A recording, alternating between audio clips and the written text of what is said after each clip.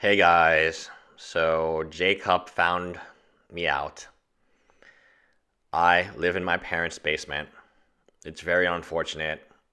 I work at McDonald's at China Star dishwasher.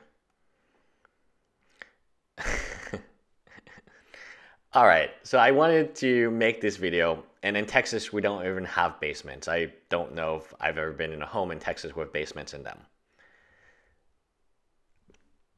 I think this is one of the most ridiculous tweets I've read to attack Jeremy in his argument.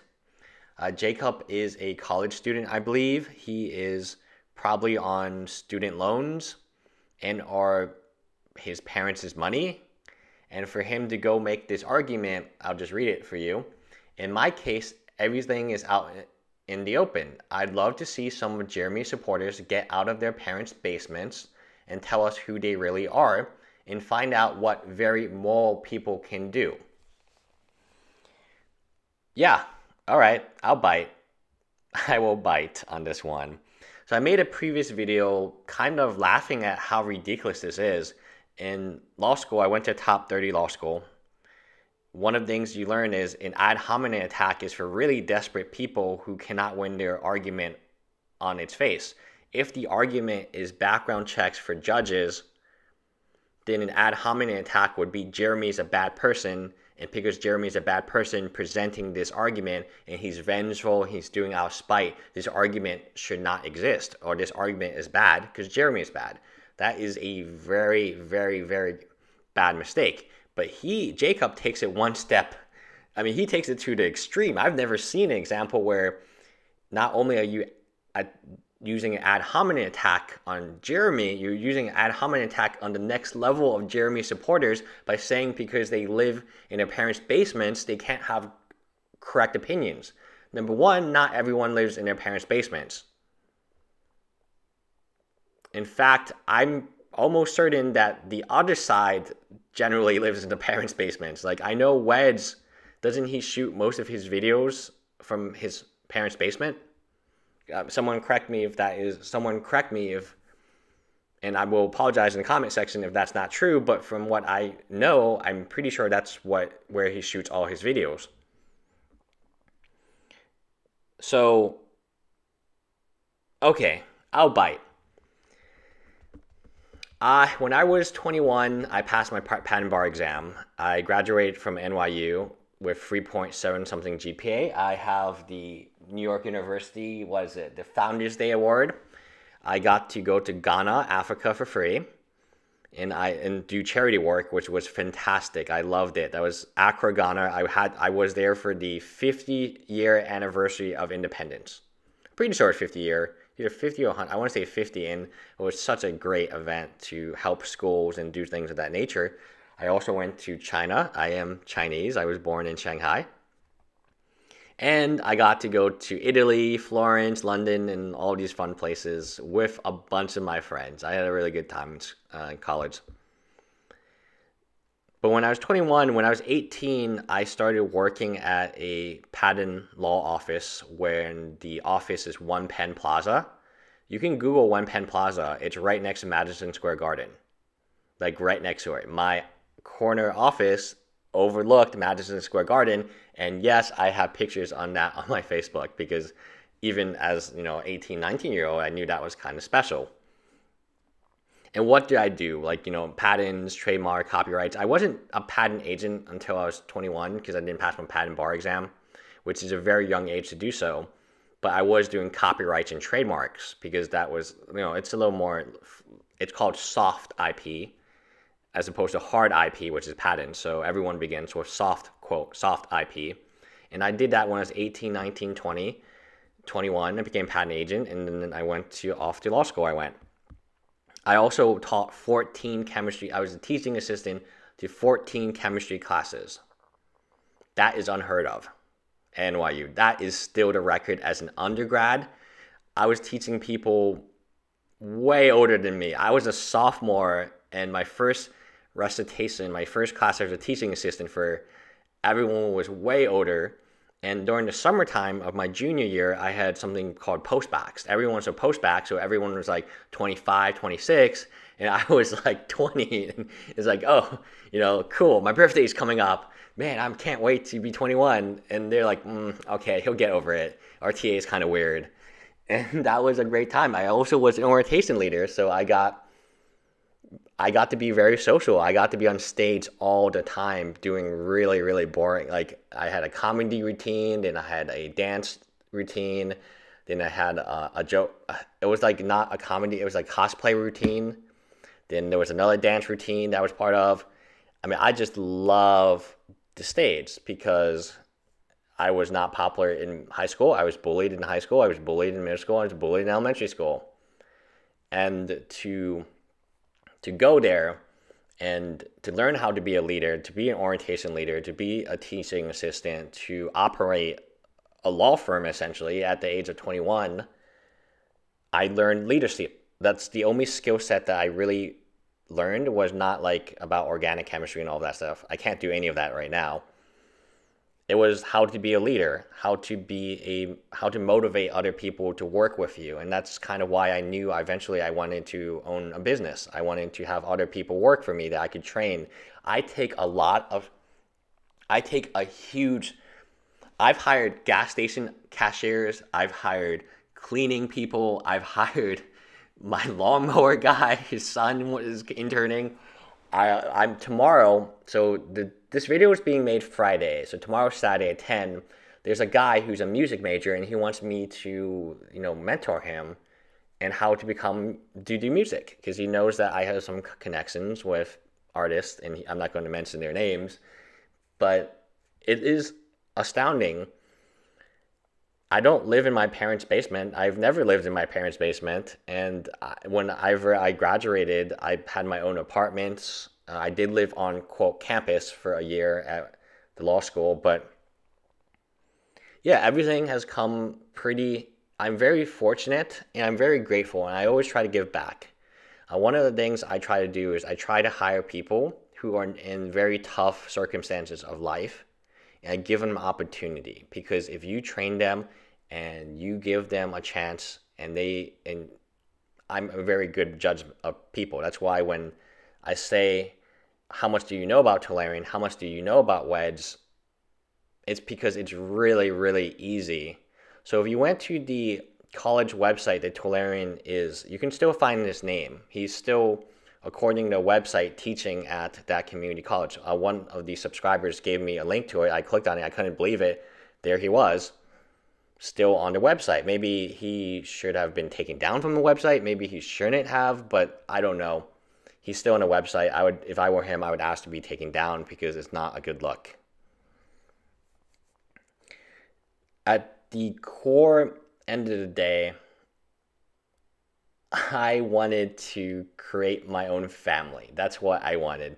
So I, I mentioned my significant other. Uh, she is in San Francisco. I used to live in San Francisco, and we still have a place together there, and we have a place in, in Houston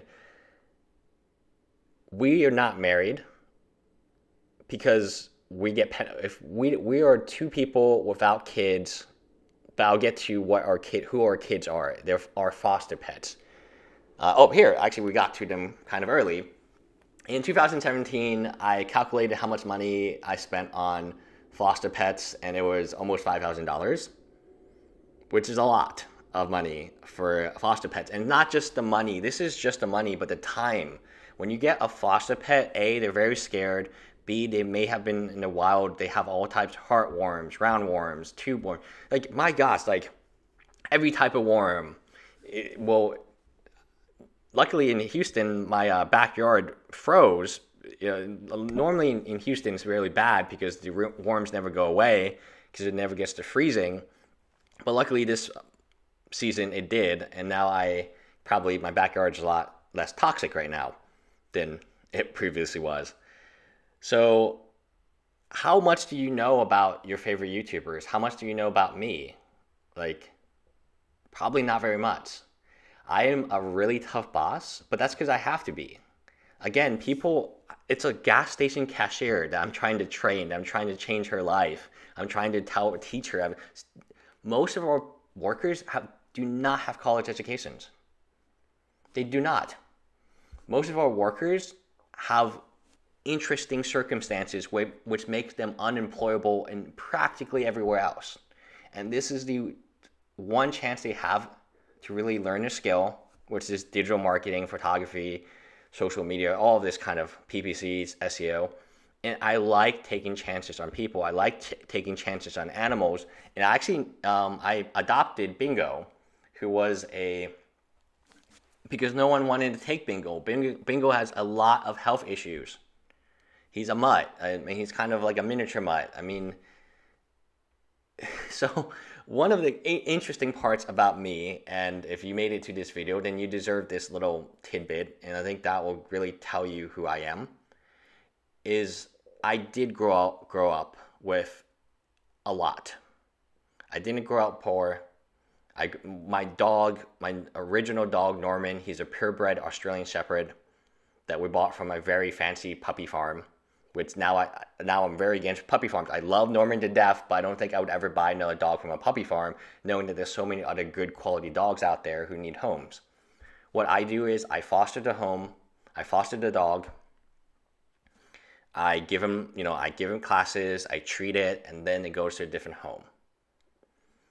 I promote this on LinkedIn. I promote this on my personal media. My LinkedIn is incredibly strong and people will fly from Switzerland to adopt some of the dogs that I heal, and then it's a great conversation. It is, um, it's very rewarding to me.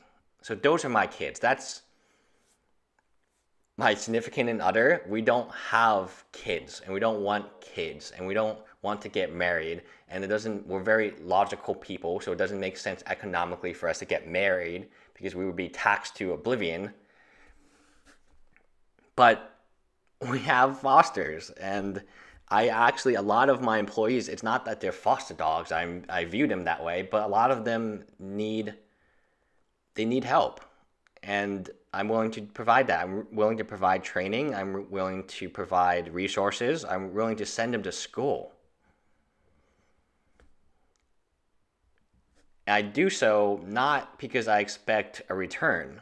I do so because eventually you know, the loyalty component is very important to me. I had employee Jessica, and she is our best employee by far. So our most productive, most um, margin heavy employee, margin meaning profits. She had an offer from Facebook. She turned it down to keep working with me, and that's the loyalty I want to have in my employees. Now, does that always work? No. Amy I don't know if you guys remember Amy. Uh, Amy was like last January, almost a year ago. See, we taught her how to kind of speak. We taught her how to present. We taught we taught her how to do digital marketing, and in 120 days, she was gone. I wrote her recommendation for T-Mobile. So there you go. Like I knew we had a talk and I knew that she came from an Asian family, and Asian families tend to uh, really put emphasis on stability as well as salary. And I told her, you know, I'm going to help you get this job. And I wrote the recommendation, and I took the phone call, and I said, hey, you know, you know, I it would be a mistake on your part not to hire her and we would be losing such an asset. And I trained her myself. And then they looked, I know they looked because my LinkedIn, I don't know if it's premium, not premium, but it tells me like when someone looks, the CEO of that division, he looked at my res, he looked at my articles, he gave it like a thumbs up. He was looking at my profile because he was basing his hiring decision on, okay, who's this guy who trained Amy? Wow, okay, he's the real deal. He's the real deal. I'm going to hire Amy.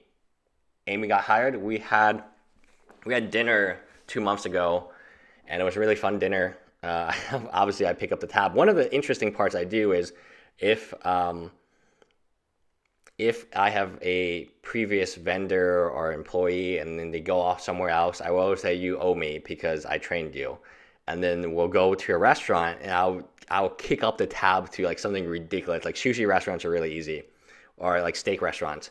And then I'll pay for it, right? It's already prepaid. So they're worried, they're sweating, right? Because this is like, uh, it's getting out of their price range of what they expected would be reasonable. And then I'll be like, all right, so, and then they'll go out and try to pay it, but I've already paid it. So, yeah, it's, because um, I typically take them to restaurants I've been to before where I know the, a server or the owner a little bit. And I'll just give them my card and say, hey, can you just run this card when it's over?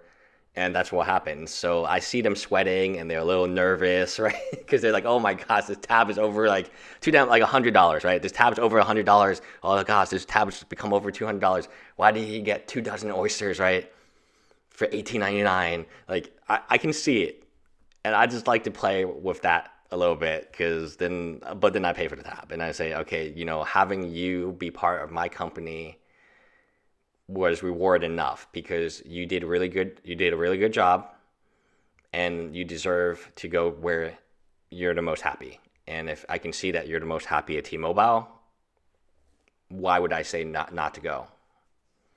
Anyway 16 minutes in and that's a little bit about me. I'm sure that jacob jacob really wanted to know about me so why not jacob? Do you want to make a video jacob? I'll post it on my channel. Bye